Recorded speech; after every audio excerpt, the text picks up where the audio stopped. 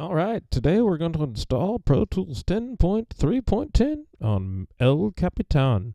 As you can see here, Pro Tools 10.3 only works with um, Mountain Lion, and I've got El Capitan. Damn. Um, so what we're going to do is we're going to trick the system today. Um, and how we're going to do that is we're going to go to the system uh, folder, and we're going to go to this. We're going to find a uh, in the system folder. We're going to find a library folder, and we're going to find after that a uh, core services folder. and then we're going to get info on that. And as you can see, only the system can write.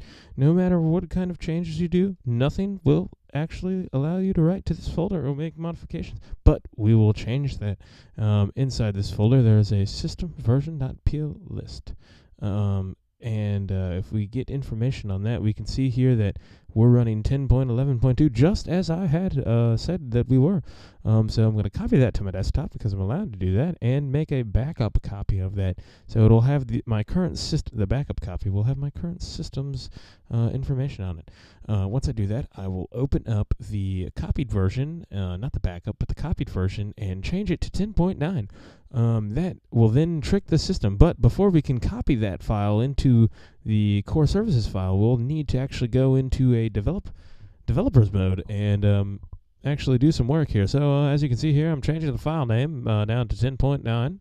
Um, and that, that will revert um, the operating system, uh, or at least trick any uh, operating or any ap- applications from running. Um, but um, and I'll verify with a get, get information, and we'll view the information on that file. As you can see here, if I scroll down, just 10.9, and so all hunky dory, but I can't copy it for some reason. Hmm. Okay, so what we're going to do is restart, and we're going to type in a command to disable um, integrity uh, protection.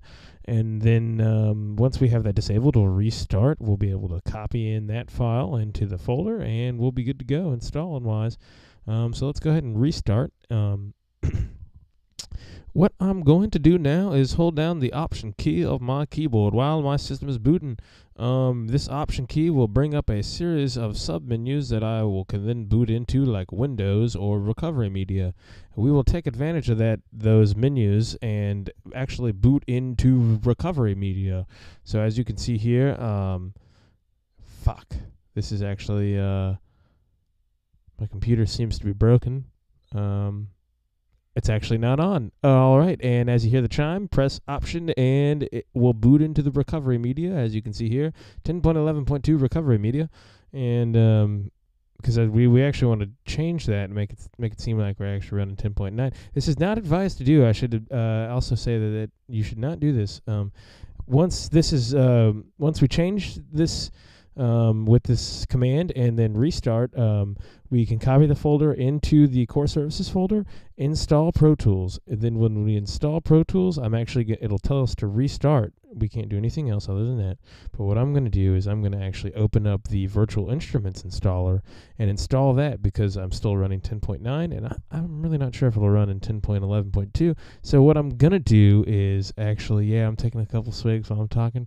Well, what I'm going to do is uh, install that and then recopy back the 10.11.2 just rename that backup folder as the system uh you know system version and then rename it as 10.11.2 inside the file copy it back type in my admin password but uh, here we're going to go to utilities and then type in the terminal or click on the terminal I mean and then after you click on the terminal you're going to type in this command it's going to be csrutil and that command has at least as far as I know, three statuses, um, or three switches, I should say, that you can use. csrutil, and the I'm going to do the status command just so we can see a status of whether this is actually on or off. Um, and when I do that, um, it says that it is going to be on status is enabled. The integrity protection is in enabled. So I'm going to say disable. I'm going to turn that off. That effectively allows me to write to the core services folder, allowing me to trick my system into thinking that I've got 10.9 and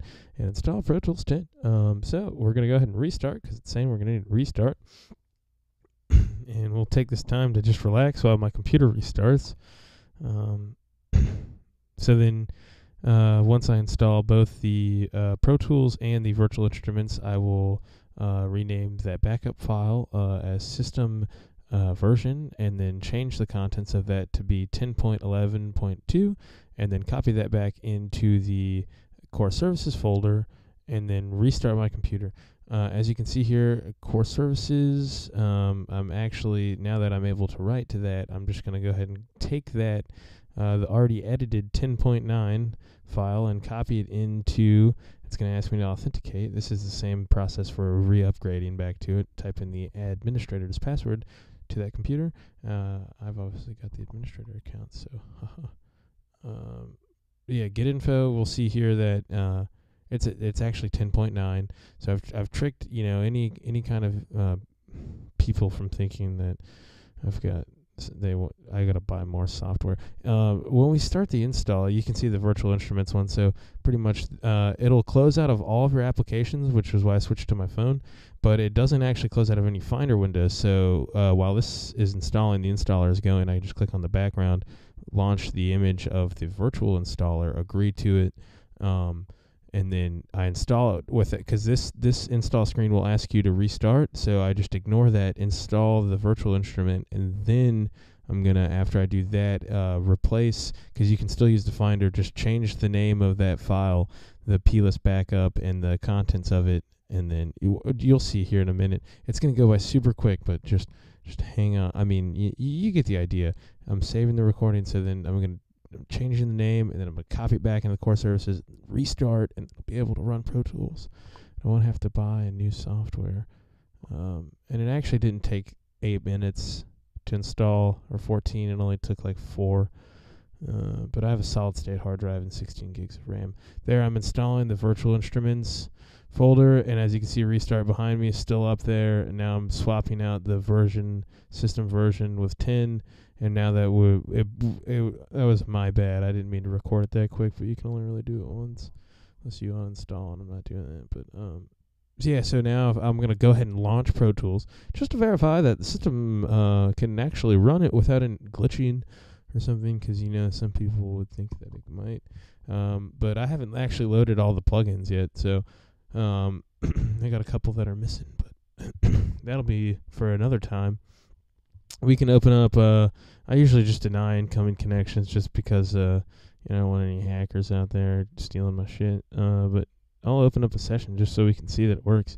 But uh, the only problem that I found is that sometimes when you hit restart, the computer doesn't actually restart.